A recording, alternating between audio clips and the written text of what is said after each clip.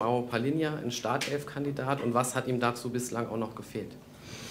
Ja, jeder Spieler ist Startelf-Kandidat äh, beim FC Bayern München und, äh, und ähm, jetzt in diesem Moment geht es nur um, um das Spiel gegen Kiel. Es geht noch nicht so um eine Rotation. Äh, wir werden sehen, wie wir do, durch das erste Spiel kommen. Das ist auch das Einzige, was jetzt wichtig ist. Aber danach wissen wir schon, dass wir ähm, ohne eine breite, starke Kader, dass wir, dass wir vielleicht der eine oder der andere Ziel, dass es nicht so einfach ist. Und deswegen ist es wichtig, dass jeder ähm, ähm, zur Verfügung steht und jeder bereit ist. Und ja, eigentlich mehr ist es nicht. Viele Spiele noch und schauen wir mal. Heiko Niederreib.